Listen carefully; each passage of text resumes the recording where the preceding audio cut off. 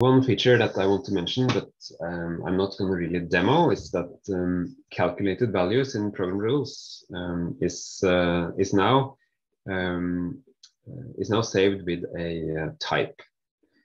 Uh, this is useful. Um, the the the calculated values used to be stored as text always, um, but to be able to validate the expressions properly. And Jose showed us some of this validation in the Android app, and the same validation will happen on the uh, on the maintenance app when you enter the program rules. Um, it will um, uh, also be possible to trigger from from the um, data administration app.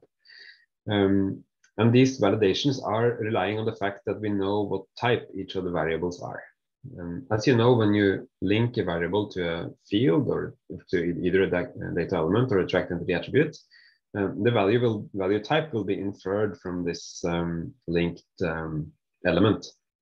Uh, if you use a calculated value, however, um, then this would be um, uh, this would be where you can can now add a type and explicitly say that this calculated value is uh, a number, for example um, there, there is a difference at uh, both the validation level and also uh, on how these um, are um, evaluated at runtime. When you run the program rule, uh, if you uh, if you end up uh, adding two and two together, and those are both numbers, then this would result in the number four.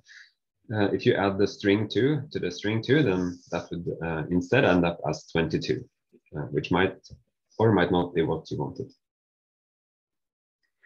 Um, so make sure in your existing uh, instances to have a look at the value type for your program rule variables. There might be some program rule variables in your uh, setups that now have been defaulted to text, but you want to change to number.